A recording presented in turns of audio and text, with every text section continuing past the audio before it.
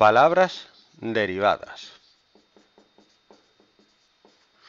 Es cuando coges una palabra simple y le añades al final desinencia o partícula para formar nuevas palabras. Por ejemplo, de zapato, yo te he puesto antes zapatero, ¿vale? Pues el er este hace que sea una palabra derivada de zapato. Le añades un sufijo en este caso, una desinencia, un morfema al lexema. El lexema es el que le aporta significado, pero esto también le aporta parte del significado. Zapato, el que se dedica a hacer zapatos, es el zapatero. Otro. ¿Cuáles son tus apellidos? Pues de Rodrigo tiene Rodríguez. ¿Qué significa hijo de Rodrigo? Como en el Señor de los Anillos, ¿te has visto el Señor de los Anillos no? Ninguna. Pues cuando se nombran se dicen soy Erator, hijo de Elitor, que no sé qué, no sé cuánto. Pues para decir de quién eres hijo, el apellido decía soy Juan Rodríguez, soy Juan, hijo de Rodrigo. ¿Vale? Y luego han derivado un apellido. Esto lo único que quiere decir es que alguien hace mucho tiempo en tu familia se llama Rodrigo. No te digo trigo. Bueno, ¿cómo se pueden derivar palabras de otras? Mediante prefijos y mediante sufijos. Vamos a ver unos cuantos prefijos para que sepa lo que significan. Por lo menos te acuerdes. Por ejemplo, el prefijo a indica negación. Por ejemplo, si yo digo mm,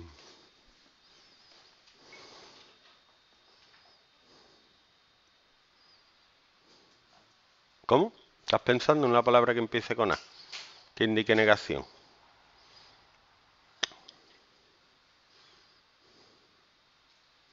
¿No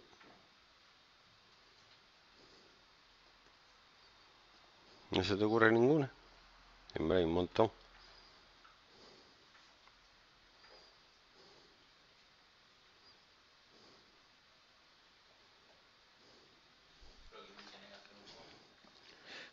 Te tengo que decir una. Negación. A ver.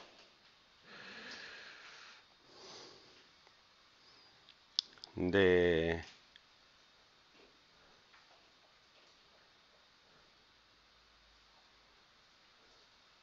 No se me ocurre ninguna ahora. Bueno, ahora se me ocurrirá. ¿Cómo? No. Ahí no.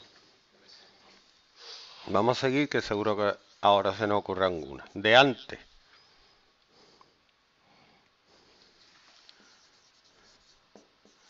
Antepuesto. Puesto antes. ¿Vale?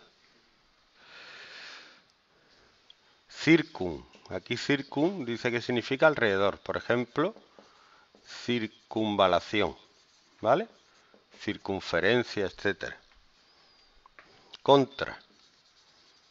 Algo que se opone a otra cosa. Por ejemplo, contraataque. Esta la sabe tú muy bien. Privación de algo. Des o de. Desaceleración, por ejemplo. ¿Mm? Y yo creo que despedir viene también de ahí. Pedir, despedir. En, dentro de. ¿Uh? Ya está. De a atonía. ¿Eh? Que no tiene tono. Está átono.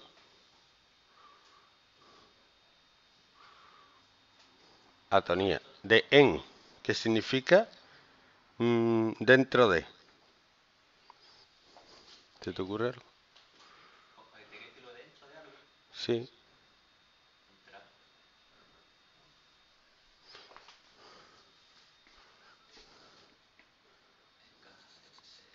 Hombre, una palabra que viene de esa ensimismar. Ensimismar. Que está en sí mismo. Está ensimismado. ¿No te suena eso? Pues ya te suena. Entre. Entreacto. El descanso es el entreacto del fútbol. ¿Sí no? Un entreacto. Entreacto y acto. Cuando tiene una obra de teatro.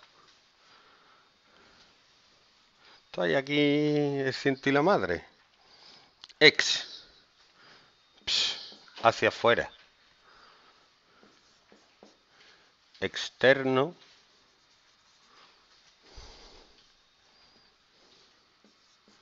Exnovia. En fin. Extra. Fuera de. Extra.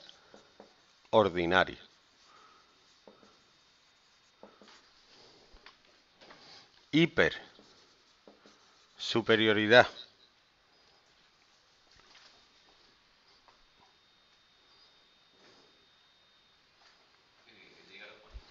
Hipermercado. Y yo. No te vayas muy lejos. Hipo, inferioridad. Hipoacusia. Eso es cuando excusa menos de la cuenta. Hipopótamo negación, in, y, irreal, imposible, posterioridad, post, posponer, yo creo que es posponer, ¿no? Da igual, postpartido, pre, anterioridad, prematuro, maduro antes de que tenga que ser maduro. Más, más. Pro, delante. ¿Mm? ¿Cómo?